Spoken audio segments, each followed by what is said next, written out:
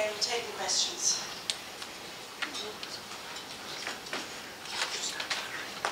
And can I just say to whoever's running the audio, if I could just get a clip of Richard saying idiotic retard, that would be. I, I just had the same cell phone ring for so long.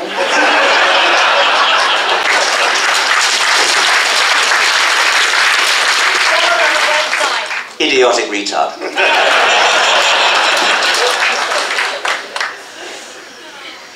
Yesterday in the Mohammedan world, hundreds of millions of people found their backsides about two feet further away from Mecca than the tips of their nose.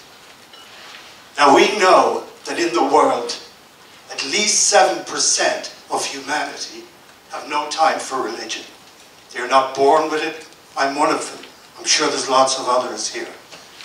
But out in the countries such as Iran, how many of those people who had their nose to the ground in that vulgar demonstration of obeisance to Allah were thinking, oh no, here we go again.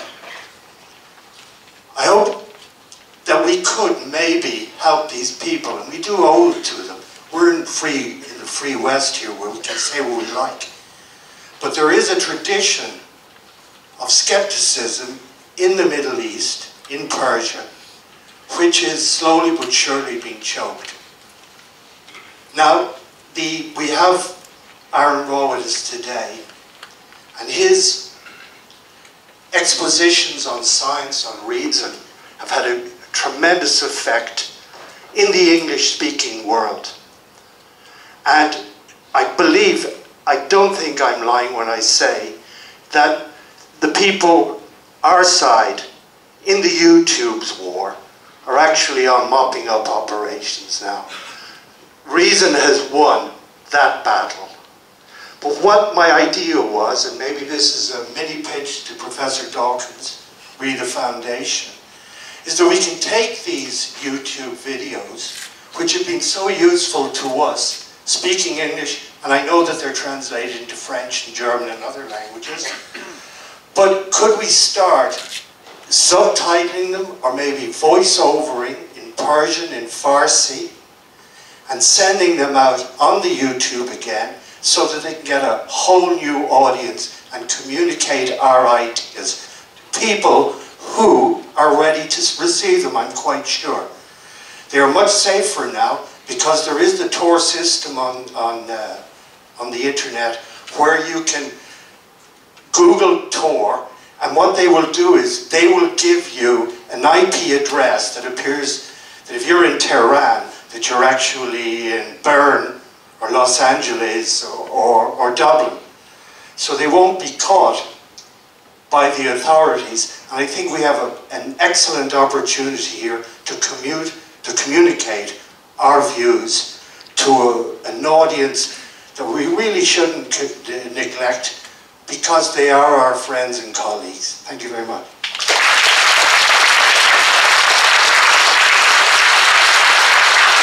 Thank, thank you very much for that suggestion, and I will, I will certainly look into the possibility of doing that. It's the kind of thing that my foundation might very well love to do. Thank you. Brilliant idea.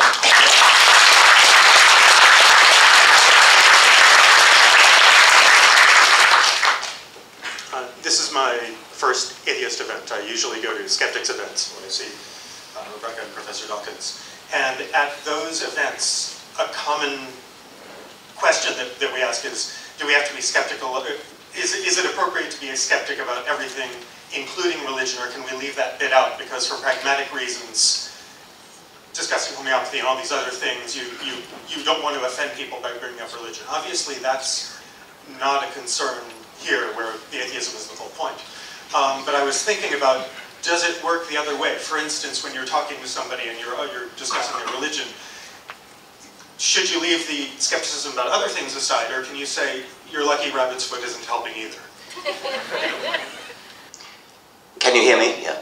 I think the thrust of the question was that in the skeptics movement, the, the skeptical inquirer and so on, um, there's a kind of uh, taboo among at least certain members that you mustn't attack religion. And I, I met this when the skeptical inquiry movement, um, uh, what were they called, CSICOP, um, honoured me, gave, gave me some kind of an honour, and I, my acceptance speech was an attack on religion, and I was roundly castigated for this, um, um, possibly because it might have affected fundraising. I, I, I, don't know what the reason might have been.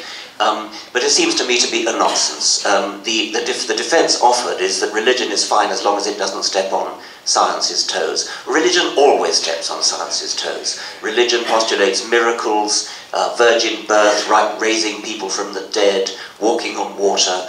Um, this is all anti-scientific, and if you remove the miracles from, from religion, you've got nothing left that any uh, congregation would be, would be swayed by. So I don't see any need or reason to separate uh, skepticism about uh, whatever, you know, dowsing and telepathy and things from skepticism about gods. This is all skepticism, and we all should be in the same boat.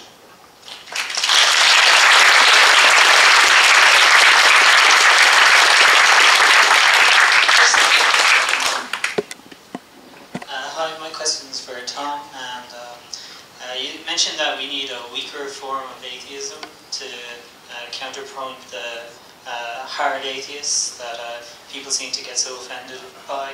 But um, it's been my experience anyway from seeing other atheists argue or even from my own conversations.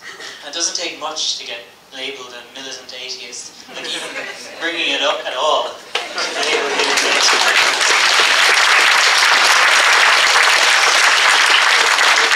So, what would your idea of a weak atheist be?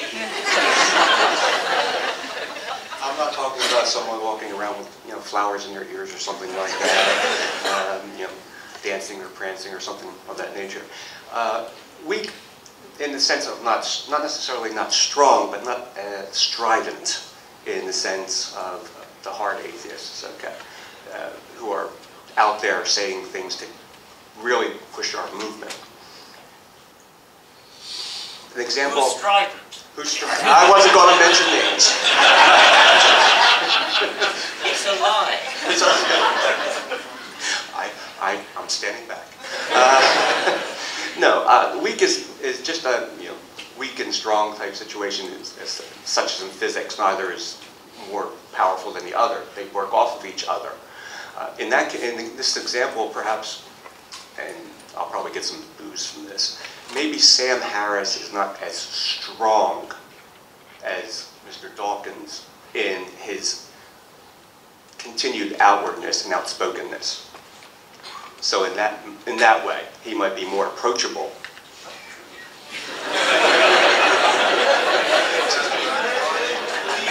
the Christian myth. No, no, no. You see, there's the there you go, the Christian myth. So it's how they see who is strong as well and who is, by their definition, might be weak. I'm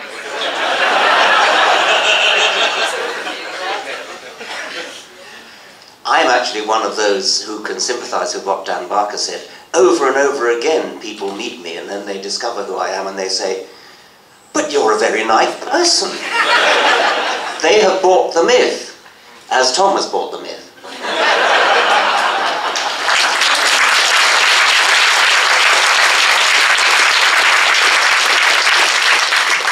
I must defend myself. I'm not buying the myth, but I'm presenting the myth that the Christians believe. And so we must work on their perceptions of who they think we are. I often get the opposite response where people think I'm nice until they meet me.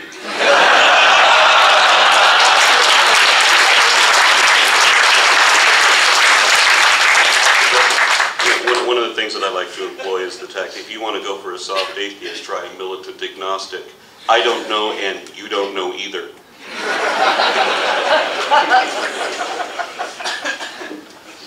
Um, I'd like to get uh, the panel's uh, comments on um, on the various platforms of communication. So, not not what the message is, but like where, where you know where the message is. I mean, there's a good variety on the panel, right? We, we can go from you know YouTube, blogs, TV, and books, right?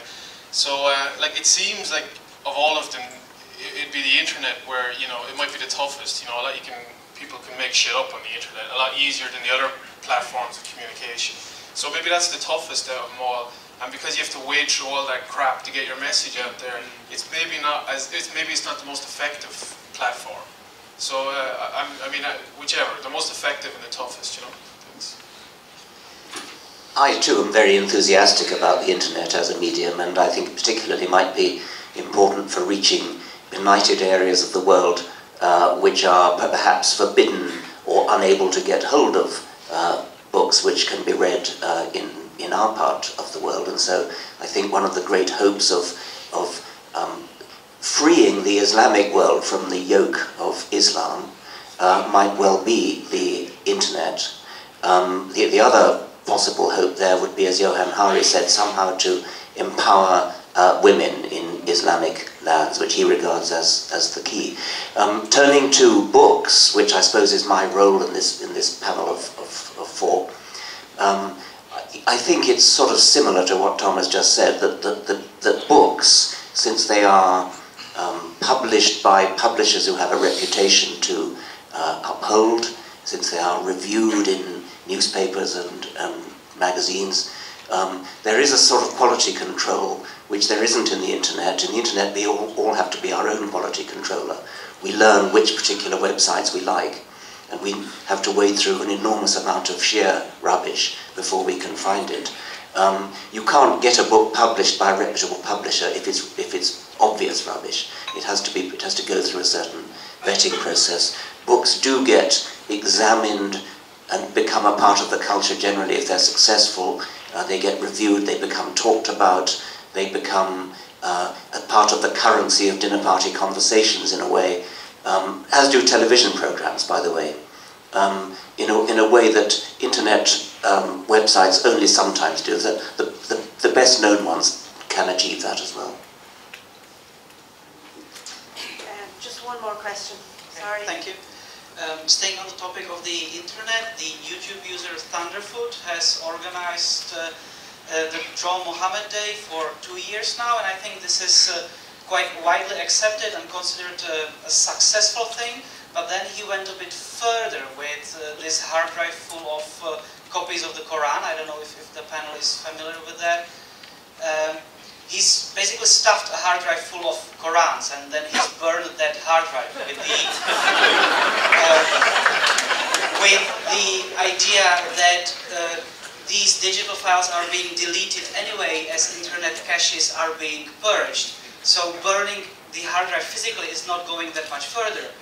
But this act seems to have polarized the online community quite a bit and he's taken quite a lot of heat for that.